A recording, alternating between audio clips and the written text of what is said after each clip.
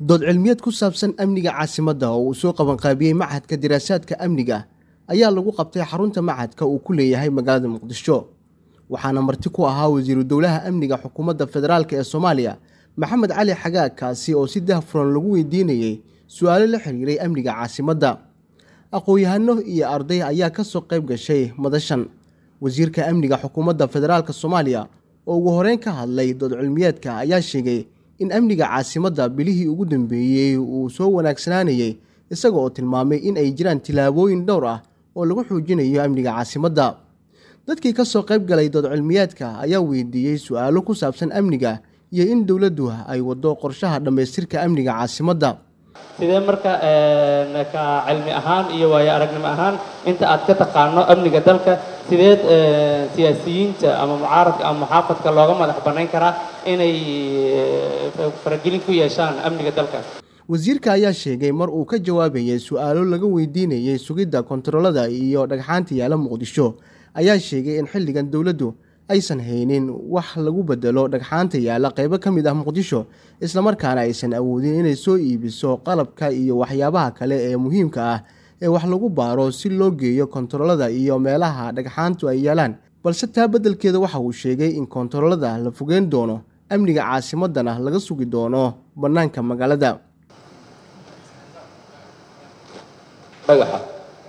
Dhagaxa wax bedelay ma la waayo ma hayno xaqiiq dowladdu waxay la rafanaysaa running costiga mishaaraadka marka inaan maanta ay intaasoo kun ku kacaysa iyo qalab electronic oo intaasoo dhan ku kacaysa awooddeedii ma lihin. Haddii la rabo dowladnimadii dadku inay saaminaanna waxa xaqiiqda waxa inaan runta isku sheegno. Innagaa soomaaliya innagaa ku filan oo sidaa inagoo aanan u baahan electronic instruments iyo ay iyo amnigeenna hadday gacanta haddaynu isqabsanno oy shacabkii dowladdu wada shaqeeyaan amnigeenna gacanta ayaynu ku dhigaynaa marka dhagaxda weli wax noo bedela ma hayo laakiin qorshe ayaan ka leenahay. Qorshaha aan ka leenahay waxa weeyaan magaaladu one two three saddex qaybood weeyaan. Qaybta koowaad waa lix iyo toban point oo intii awal xidhnaan jirtay ah. Waa la tegay iminka. Qaybtii labaad baan maraynaa oo jidka warshadaha ah oo toddobiyo toban point ah. Waxaanu maraynaa hadda inaanu arbushno wixii magaalada ka baxsan oo aan la dagaalano wixii lu ku soo gelaya ama cadow ku soo gelaya kadibna sida qorshuu yahay daab guud oo magaalada laga ilaaliyo ayaa loo samayn doonaa. Marka inta dhexda ku jirta wixii dhagax yaalla iyo wixii isbaaro taalla baddaynu ku dari doonaa ilaahay hadduu yidhaahdo dhowaan darayska isku nooc ah in la helo waa talo fiican oo waa lagu muxuu ahaa tala jira darays isku mid ah. At least marka hore booliska inaa darays isku mida la sameeyo militariga oo koofiyad casta ama booliis militariga ana iyagana darays u dhow in loo helo qorshahaas waan wadnaa waana muxuu ahaa la keeni doona amniga iyo warfaafinta. Waxaan rabnaa inaynu aqoon-yahankii amniga ayaa tihiin. Waxaanu rabnaa inaynu keenno barnaamij la yidhaha amniga iyo warfaafinta. La ysla fadhiisto la ysla lafaguro wax lagu heshiiyo waxaan rabnaa inaan keenno amniga iyo sportska. Siduu uga qaadan karaa amniga. Siduu u xasilin karaa dadka. Waxaan rabnaa inaan keenno barnaamij la dhaahdo amniga iyo waxbarashada oo aan ka dhigno jaamacadaha iyo iskuullada ina xiisad amniga dadka lagu baraajiyo si amnigu u noqdo wax isla wada socda oo muxuu ahaa lagu lagu baraarujiyo dadka.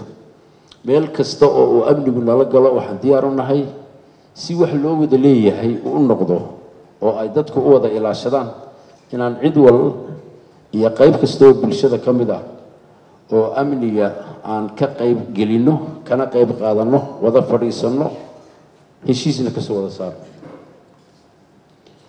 shaksi ahaan anigu maxaan ka aaminsanahay warfaafinta warbaahinta. Warbaahintu waa laba seef af leh. Waxaan ka aaminsanahay seef laba af leh negativekana keeni karta positivekana keeni karta. Marka aniga aragtidayda warbaahinta soomaalidu negative bay ahayd intii u dambeysay oo dhan. Mujtamaca soomaaliyeed maadaama uu negative ahaa iyadaguna negative bay ahayd.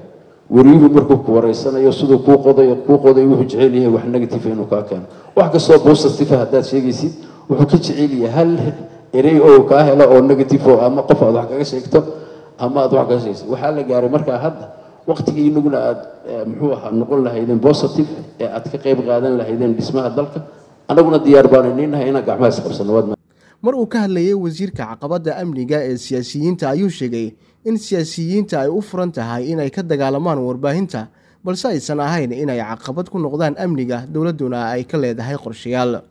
U dhimo waxaan rajaynaynaa inaanay dhici doonin kana gudbi doonno qorshaha aan wadnaana waxa weeyaan siyaasigu inuu fikirkiisa iyo wuxuu aaminsan yahay mujtamaca ka iibiyo amniguna mid dowladi gacanta ku haysa iyo mujtamaca dowladdaas ay xukunto uu noqdo. Waad mahadsanta zakariya axmed muuse t v-ga shabeelle muqdisho